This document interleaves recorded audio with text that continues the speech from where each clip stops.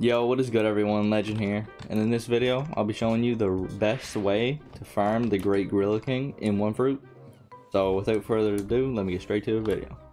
Alright, so what you're going to want to do is you're going to want to leave your game. So you're going to want to go to one fruit, go down to the servers, and it's going to say the servers are descending, change that to ascending. And then click on any of the servers that has a low amount of players on. Like one to three players because the lower amount of people, the bigger the chance of the Great Gorilla King not being killed.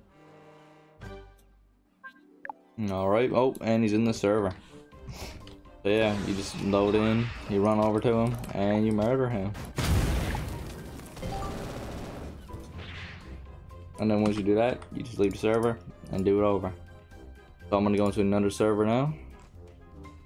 Alright, second try. Or, yeah, second try. We got it on the first try, now second. Oh, and he's in here again. Well, this method clearly is pretty fast. And kill him, take all his stuff.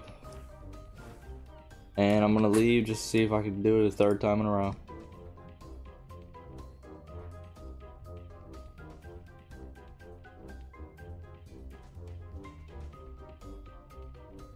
Alright, he's here, so that's three of four.